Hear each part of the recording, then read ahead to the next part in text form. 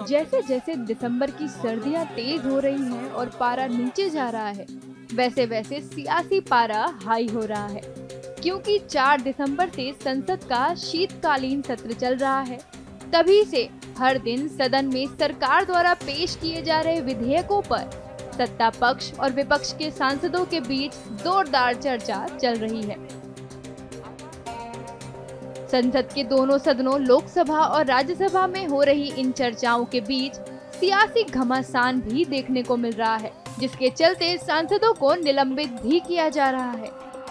संसद के इस शीतकालीन सत्र में अब तक लोकसभा से 14 सांसदों को निलंबित किया जा चुका है।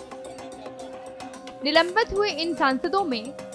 वी के Srikantam, Shri Benny Behanan, P R Natarajan, Mohammed Javed, Kanimozhi K Subramaniam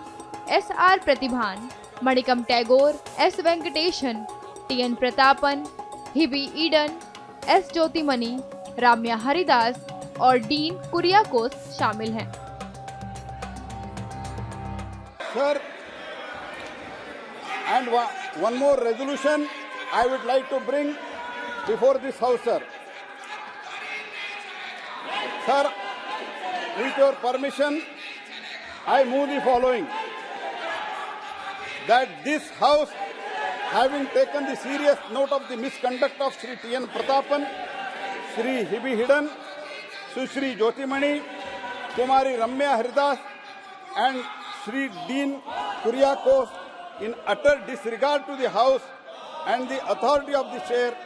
and having been named by the chair, resolve that above mentioned member- members to be suspended from the service of the House for the remainder session under Rule 374-2.